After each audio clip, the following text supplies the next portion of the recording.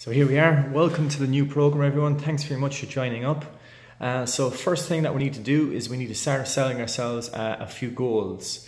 So this goal will allow ourselves to stay motivated for the six weeks, and we can keep that in mind um, over that six weeks to keep us motivated and keep us online with our program for what we want to achieve. So first thing we need to try and do is we need to set a realistic goal, so something that we can feel feel that we can achieve within that six week, but we also want to challenge ourselves. So something that currently we can't do, but something that we'd like to do over um, over the next six to eight weeks, and then pro- progress that on following this program to give you that little bit of information to sort of keep it going uh, even after this six week program. So again, making it realistic, something that you feel that you can achieve, but something that to give yourself that little bit of a challenge.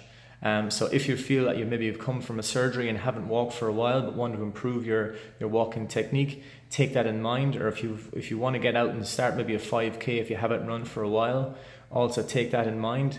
Uh, or if you want to try and improve your speeds over a 5k or a 10k, or trying and get to a distance that you haven't achieved before, which would be maybe a marathon or a half marathon, then that's a goal that we want to try and look towards then as well.